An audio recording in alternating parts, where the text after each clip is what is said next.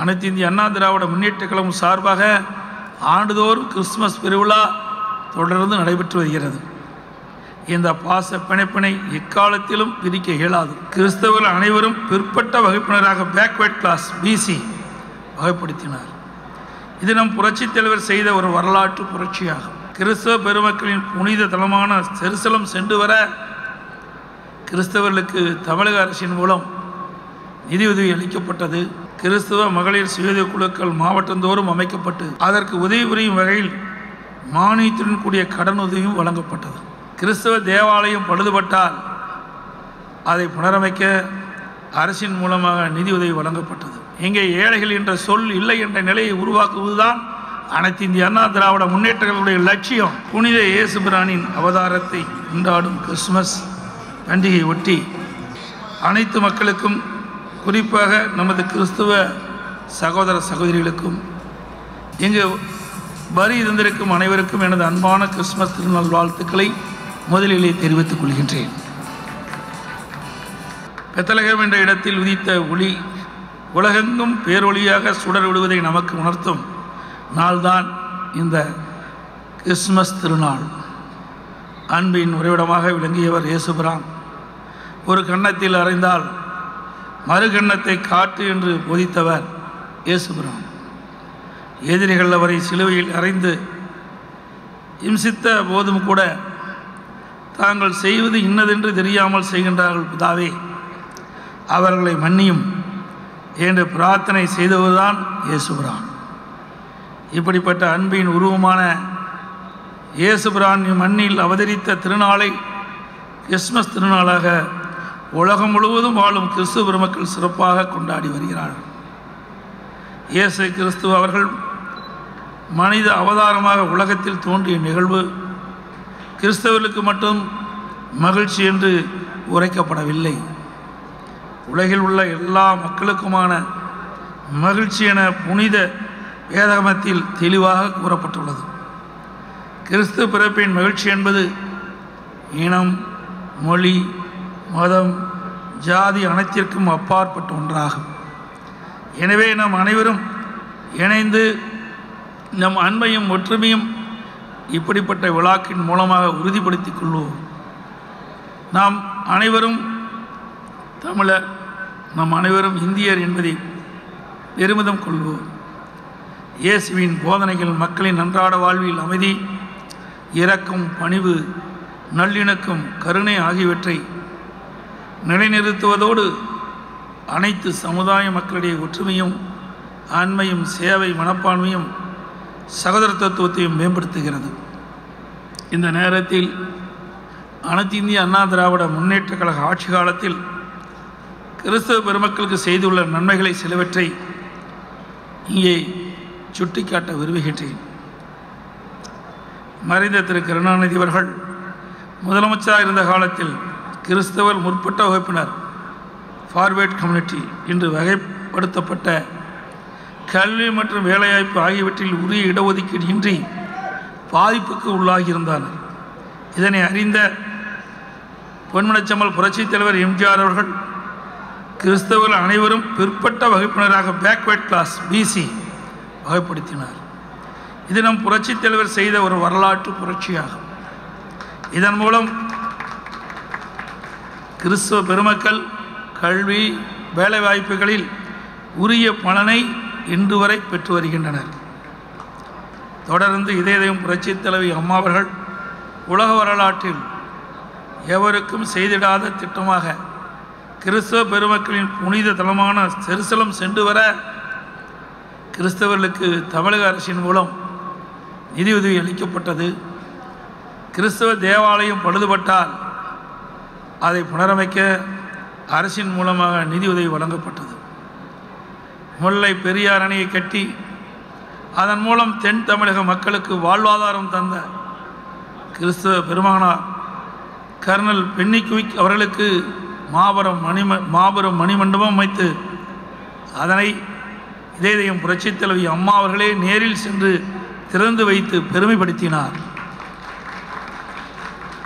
அதேபோல இந்திய நாட்டின் மிக உயரிய பதவியான ஜனாதிபதி பதவிக்கு ஒரு சிறுபான்மை சமூகத்தைச் சேர்ந்தவர் வர வேண்டும் என்கின்ற உயரிய நோக்கத்தோடு அத்தேர்தலில் போட்டியிட்ட மறைந்த தமிழ்நாட்டைச் சேர்ந்த உயர்தர் ஏபிஜே அப்துல் கலாம் அவர்களை முன்மொழிந்தவர் இதே இதயம் புரட்சித் தலைவி அம்மா அவர்கள். அதற்கு ஆதரவும் தந்து வெற்றியும் தேடித் தந்தார். தொடர்ந்து மாண்பு அம்மாவின் நல்லாசியோடு நடைபெற்ற கழக ஆட்சி காலத்தில் கிறிஸ்தவ பெருமக்களுக்கு செய்துள்ள நன்மைகளை இங்கே இன்னும் சிலவற்றை சுட்டிக்காட்ட விரும்புகின்றேன். இந்தியாவிலேயே முதல் முறையாக ஏழை எளிய கிறிஸ்துவ பெண்கள் பயன்பெறும் வகையில் அரசினர் சிறுபான்மை நலத்துறை மூலம் கிறிஸ்துவ மகளிர் சுயத குழுக்கள் மாவட்டந்தோறும் அமைக்கப்பட்டு அவர்கள் சிறுதொழில் தொடங்கி பயன்பெற அரசின் வழிகாட்டுதல்கள் வழங்கப்பட்டதோடு அதற்கு உதவி புரியும் வகையில் மானியத்துடன் கூடிய கடன் உதவியும் வழங்கப்பட்டது. கிறிஸ்தவ தேவாலயத்தின் புனரமைப்புக்கு நிதி ஐந்து கோடி ரூபாய் உயர்த்தி வழங்கப்பட்டது. செருசலம் புனித பயணம் மேற்கொள்ளும் கிறிஸ்துவ ஆஸ்திரிகளுக்கு வழங்கப்பட்ட அரசு நிதியுதவி ஒரு நபருக்கு இருபத்தெட்டாயிரம் ரூபாயிலிருந்து முப்பத்தி எட்டாயிரம் ரூபாயாக உயர்த்தி வழங்கப்பட்டது. பின்னர் முழு மானியம் வழங்கப்படும் என்ற உத்தரவையும் உத்தரவாதமும் வழங்கப்பட்டது. ஏழை எளிய மக்களுக்கு தொண்டாற்றி வரும் கிறிஸ்துவ அரு சகோதரிகள் பயன்பெறும் வகையில் ஜெருசலம் புனித பயணத்தில் அவர்களுக்கு தனி ஒதுக்கீடு செய்யப்பட்டது. ஏழை எளிய கிறிஸ்தவ மாணவ மாணவர் பயன்பெறும் சிறுபான்மை மாணவர் கல்வி உதவித்தொகை ஆண்டுதோறும் முழுமையாக வழங்கப்பட்டது. ரெண்டாயிரத்தி பதினொன்று முதல் இருபத்தி ஒன்று வரை சிறுபான்மை வகுப்பைச் சேர்ந்த முப்பத்தி ஏழு லட்சத்தி பதினாறாயிரம் மாணவ மாணவிகளுக்கு எட்நூற்றி அறுபத்தி நாலு புள்ளி மூணு ஆறு கோடி ரூபாய் கல்வி ஊக்கத்தொகையும் வழங்கப்பட்டது. சிறுபான்மை கல்வி நிறுவனங்கள் சுதந்திரமாகவும் முழுமையாகவும் செயல்படும் விதத்தில் அரசின் முழுமையான ஒத்துழைப்பும் வழங்கப்பட்டது. சிறுபான்மை மக்களின் நலம் கருதி சிறுபான்மையர் ஆணையம் அமைப்பு நீதியாக விரிவுபடுத்தப்பட்டு உறுப்பினர் எண்ணிக்கை அதிகரித்து அரசாணை பிறப்பித்து அதன் மூலம் ஆணையத்தின் செயல்பாடு பயனுள்ளதாக அமையுமாறு மேம்படுத்தப்பட்டது. தலித் கிறிஸ்தவர்களுக்கும் அரசால் வழங்கப்படும் முன்னுரிமைகள் முழுமையாக கிடைக்கப்பெற வேண்டும் என்பதை அனைத்து இந்திய அண்ணா திராவிட முன்னேற்றக் கழகம் கொள்கை நீதியாக உறுதியான நிலைப்பாட்டில் இருக்கின்றது. புரட்சி தலைவி அம்மா அவர்களை தொடர்ந்து கிறிஸ்தவ பெருமக்கள் கௌரவிக்கும் விதத்தில் அனைத்து இந்திய அண்ணா திராவிட முன்னேற்றக் கழகம் சார்பாக ஆண்டுதோறும் கிறிஸ்துமஸ் பெருவிழா தொடர்ந்து நடைபெற்று வருகிறது. இந்த பாச பிணைப்பினை எக்காலத்திலும் பிரிக்க இயலாது. இனி வருங்காலத்திலும் இப்பாசமும் நேசமும் வலுப்பெறும். சிறுபான்மை மக்களின் உண்மையான பாதுகாப்பு இயக்கமாக அனைத்து இந்திய அண்ணா திராவிட முன்னேற்றக் கழகம் என்றென்றும் செயல்படும் என் தன் ஆமா ஆன்மாவின் குரலாக பதிவு செய்ய விரும்புகின்றேன். நல்ல லட்சியங்களுக்காக வாழ வேண்டும். வாழ்வில் நற்பணிகளை செய்ய வேண்டும். அதற்குத்தான் இறைவன் நமக்கு மனித பிறவி அளித்திருக்கின்றார். அனைத்து மக்களின் நலனுக்காக நாம் அனைவரும் ஒரு மனதோடு ஜெபிப்போம். இச்சமயத்தில் ஒரு கதை ஞாபகத்துக்கு வருகிறது. அதை உங்களிடத்திலே பகிர்ந்து கொள்வதில் நான் மகிழ்ச்சி அடைகின்றேன். முன்னொரு காலத்தில் ஒரு ஊரில் ஒரு நல்ல உள்ளம் கொண்ட பெரியவர் வாழ்ந்து வந்தார். அவர் தனக்கு சொந்தமான நிலத்தில் தனது ஊழியர்கள் மூலம் விவசாயம் செய்து வந்தார். அதன் மூலம் கிடைத்த விவசாய வருமானத்தை அந்த ஊர் மக்களுக்கு தான தர்மம் செய்வதையும் உதவிகள் செய்வதையும் தலையாய கடமையாக கொண்டிருந்தார். இதனால் அப்பகுதி மக்களும் அவர் மேல் மிகுந்த அன்பும் மரியாதையும் வைத்திருந்தனர். சில காலங்கள் சென்றவுடன் அப்பெரியவர் வயது முதிர்வின் காரணமாக நோயுற்றார். மரண படுக்கையில் இருக்கும்போது தன் காலத்திற்கு பிறகு தனது பொறுப்பிற்கு வருபவர் தன்னைப் போலவே தொடர்ந்து இப்பகுதி மக்களுக்கு அன்பு காட்டக்கூடியவராகவும் உதவி செய்வராகவும் இருக்க வேண்டும் என்று எண்ணினார். தனது விருப்பத்தை தனது ஊழியரிடம் தெரிவித்தார். அப்பெரியவர் மறைவுக்கு பிறகு கடவுளின் அருளால் ஒரு நல்ல மனிதருக்கு அப்பெரியவரின் பொறுப்புகள் சென்றடைந்தன. தெரிவு செய்யப்பட்ட அந்த மனிதர் ஒரு விவசாயி. அவர் தனக்கு கொடுக்கப்பட்ட பொறுப்பை உண்மையாகவும் ஈடுபாட்டுடனும் அக்கறையுடனும் பொறுப்புடனும் திறம்பட செய்து வந்தார். பெரியவரின் விருப்பமான விவசாய பலன்கள் முழுமையாக அவ்வூர் மக்களுக்கு சென்றடைய உண்மையாக உழைத்தார். இதை கண்ட ஊழிகள் பொறாமை குணம் கொண்ட ஒரு சிலர் அந்த விவசாயினுடைய வேலைகள் தடைபடும்படியும் மறைந்த பெரியவரின் விருப்பம் நிறைவேறாதபடி சில சதி வேலைகளில் ஈடுபடுகின்றனர். அதில் ஒன்றாக பயிர் விளையும் பூமியில் களைகள் வளரும்படியான செயல்களில் ஒரு சில ஊழியில் ஈடுபடுகின்றனர். ஆனால் அப்பெரியவன் பொறுப்பிற்கு வந்த விவசாயியோ அவற்றை கவனமுடன் பொறுமையாக அந்த இடையூறுகளை புறம் தள்ளி களைகளை கண்டறிந்து களைகளை பிடுங்கியும் துரோகம் செய்த அந்த ஒரு சிலையும் அப்புறப்படுத்துகிறார். விளைச்சலை மேம்படுத்தி விவசாய பணிகளிலேயே கவனம் செலுத்துகிறார். நாட்கள் செல்கின்றன. பயிர்கள் வளர்ந்து அறுவடை செய்யப்பட்டு மக்களுக்கு பிரித்து கொடுக்கப்படுகிறது. இதைத்தான் இயேசு கிறிஸ்து பரிசுத்த வேதாகமத்தில் மாத்தேயு பதிமூணாவது அதிகாரத்தில் இருபது முதல் முப்பது வசனங்களில் நமக்கு உமையாக எடுத்துக் கூறுகிறார்.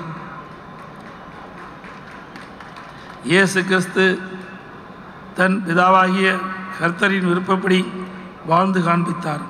இந்த உலகத்தில் மனிதனாய் பிறந்து தனக்கு கொடுக்கப்பட்ட வேலைகளையும் கஷ்டங்களையும் மிகுந்த சிரமங்களுக்கு மத்தியிலும் நெருக்கடியின் மத்தியிலும் பொறுமுடன் இருந்து நேர்த்தியாக நிறைவேற்றி மனித குலத்தை மீட்டெடுத்தார்.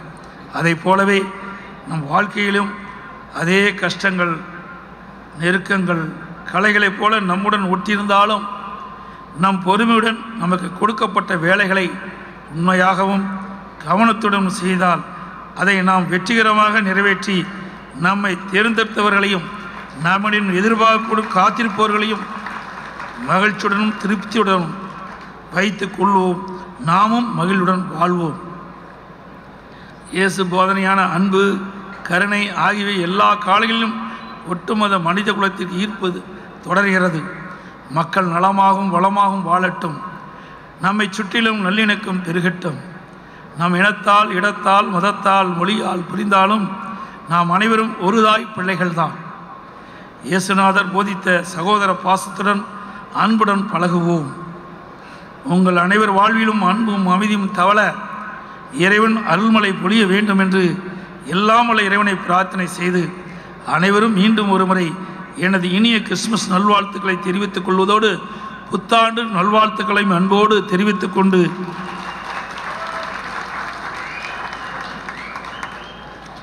எனக்கு முன்னாலே நம்முடைய அருமைச்சவர் சகோதரர் பெஞ்சமின் அவர்களும் அருமைச்சவர் சகோதரர் இன்பத்துறை அவர்களும் மரியாதைக்குரிய சீதா செல்லப்பாண்டியன் அவர்களும் அனைத்து இந்திய அண்ணா திராவிட முன்னேற்ற கழக ஆட்சியிலே என்னென்ன திட்டங்கள் நிறைவேற்றப்பட்ட என்ற செய்திகள்லாம் அழகாக எடுத்து சொன்னார்கள். இன்றைக்கு இந்தியாவிலேயே எத்தனையோ மாநிலங்கள் இருக்கின்றன. ஆனால் தமிழகத்திலே பொன்மனச்சம்மல் புரட்சித் தலைவர் எம்ஜிஆர் இதயதயம் புரட்சித் தலைவி அம்மா இருவரும் தலைவர்கள்தான். ஏழைகளுக்காக பிறந்து ஏழைகளுக்காக வாழ்ந்து ஏழைகளுக்காக மறைந்த தலைவர்கள். அவள் வாழ்நாள் முழுவதும் மக்களுக்காக உழைத்து மறைந்த தலைவர்கள். மக்களை நேசித்தார்.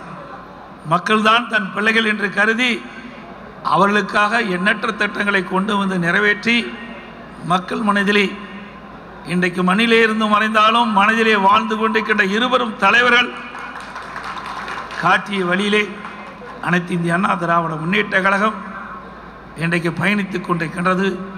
அந்த இருவரும் தலைவர்கள் வழியிலே எண்ணற்ற திட்டங்களை நாங்கள் செயல்படுத்தி கொண்டிருக்கின்றோம்.